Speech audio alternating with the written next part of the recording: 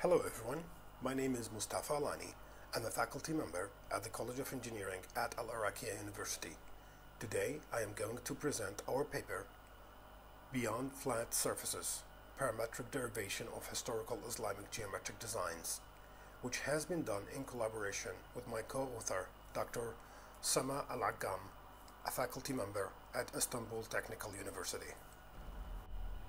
Patterns are a common feature of Islamic architecture that exist in a variety of shapes and types. In general, Islamic patterns have been classified into two main categories Arabic calligraphy, in which various types of calligraphy used for architectural decoration, and the arabesque, which also can be further subdivided into two subcategories floral and geometric patterns. Today's presentation concerned with the latter, the geometric patterns.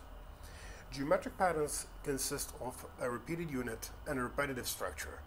The repeated unit is the minimal possible region that contains the basic geometrical composition, where the repetitive structure is a product of systematically replicating the repeated unit to fill the space completely while leaving no gaps. Historical Islamic art and architecture took advantage from the mathematics of its age, the enormous diversity of complex form that exist in Islamic art and architecture are products of mathematical and geometrical advancements as discussed in the available historical documents. One such document is Risala فيما يحتاجه الصناع من أعمال الهندسة on the geometric construction necessary for artisans by Abu Wafa al-Buzjani which shows that mathematicians collaborated with artisans to explore new relationships and perfect designs. The vast majority of IGD found on flat surfaces. However, some geometric designs were found on non-flat surfaces, such as the geometries found on some Mamluks domes in Egypt. Those compositions show the different levels of proficiency with some unique geometrical constructions. The recently completed Cambridge Mosque shows another example of the creative use of geometry in Islamic architecture. The ceiling design of the mosque is based on Islamic geometric patterns, yet the constructional component of the free-form wood ceiling morphed in certain places, forming the columns.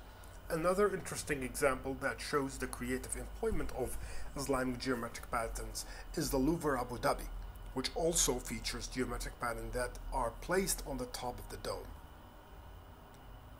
Although these two projects employed Islamic geometric designs on non-flat surfaces, still these two projects show two different approaches to deriving three-dimensional forms. Both approaches can be traced back to historical precedents. As mentioned earlier, historically Islamic geometric designs exist beyond flat surfaces.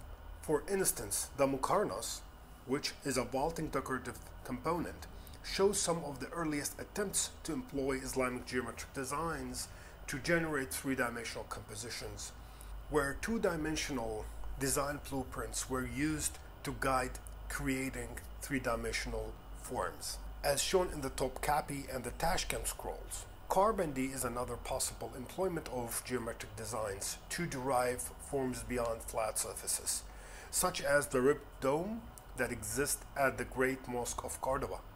Unlike Muqarnas, the geometry is curved as it's being projected into a round surface. The dome of the Karatai Madrasa features the geometric patterns that were morphed to cover the dome's interior. Another remarkable example that exists in Cairo at the dome of Sultan Qutb complex. The dome is covered with several star patterns that were designed to fit the dome. This quick overview of historical and contemporary precedents aims to develop an understanding of the variety of existing non-flat geometric designs by which two-dimensional geometric designs were employed to derive forms beyond flat surfaces. Generally, Islamic geometric designs consist of series of points connected to form a line or a polyline and then replicated using symmetry to fill a specified space. Typically, Islamic geometric designs show some or all of the following recognizable characteristics symmetry, flow, unboundness, and interlacing. Islamic geometric designs morphologically relate to each other, and it is possible to morph a design to transform it from one state into the other. Three types of symmetry structures were identified in Islamic geometric designs rosettes, periodic, and quasi-periodic structures.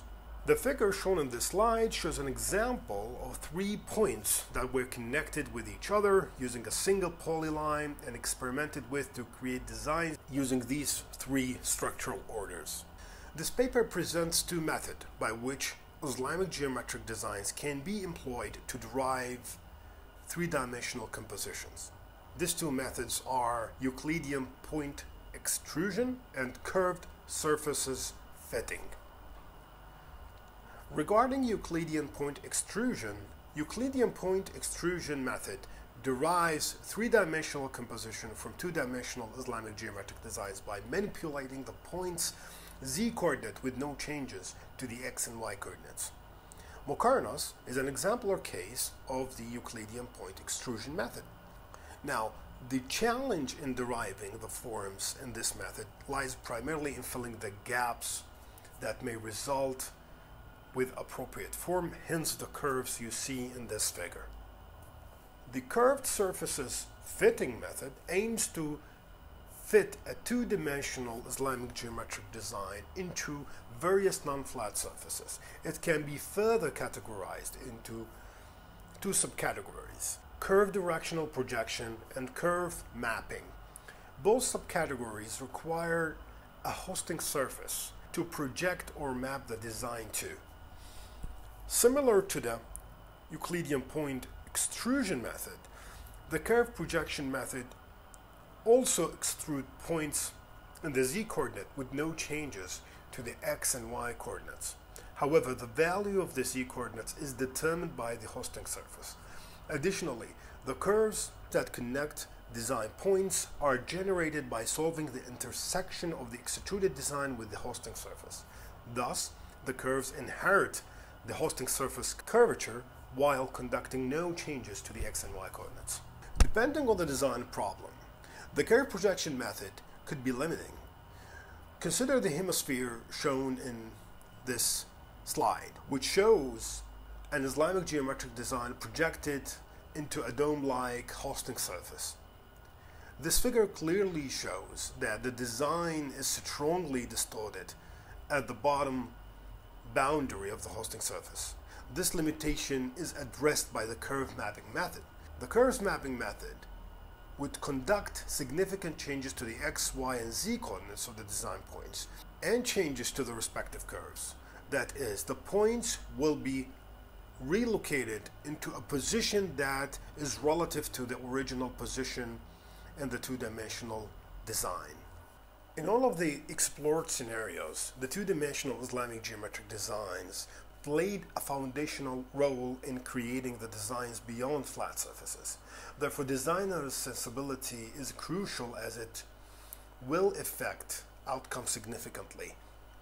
The Euclidean point extrusion method allow for an additional layer for designers to be creative in connecting uh, designs parts and filling the gaps resulting from the extrusion process. In the curved surface fitting method, designer sensibility primarily resides at the two-dimensional level and the hosting surface, and all changes need to be conducted there.